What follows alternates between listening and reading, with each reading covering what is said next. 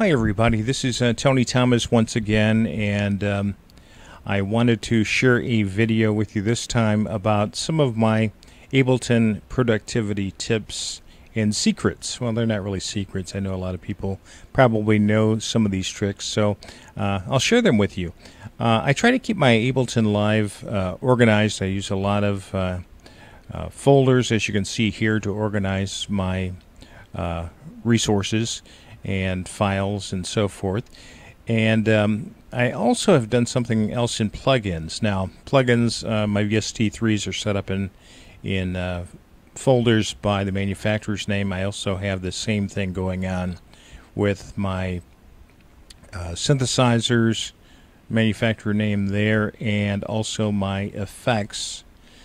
But I have also set up subfolders uh, in my VST directory. And what I do is I populate those with shortcuts that go back to the original DLLs. And that way I can create subgroups of uh, plugins by category.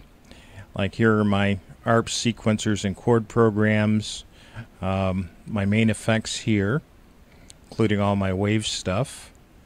Uh, I can get to them real easily. Uh, my main synths, I have uh, one and two for those. I have a lot of synths, as you can see.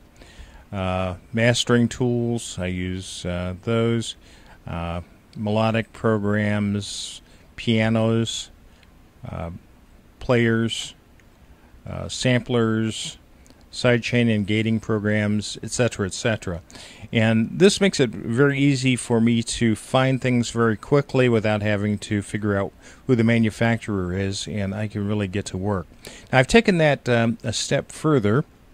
And I've used my collections. I notice a lot of Ableton users don't even bother with using collections, but um, I find them valuable. And what I've done is set up all my favorites here also I have uh, favorite synths and samplers that I use here, uh, instrument racks, drum racks, my favorite effects, my favorite sampler sounds. Most of those are custom sounds, melodic loops that I uh, play around with, and drum loops.